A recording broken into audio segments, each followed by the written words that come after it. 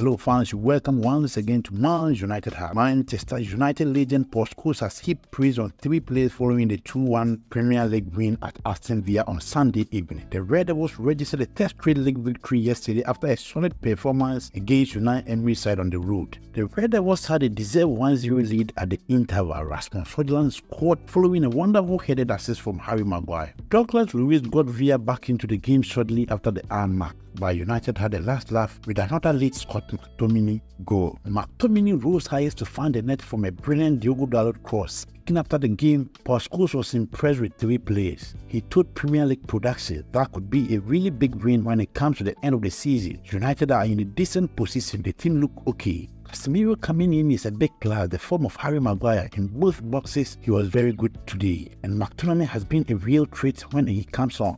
He's making a big difference to the team. So, fellow this is what Paul Scholes have to say after the win against Aston Villa yesterday.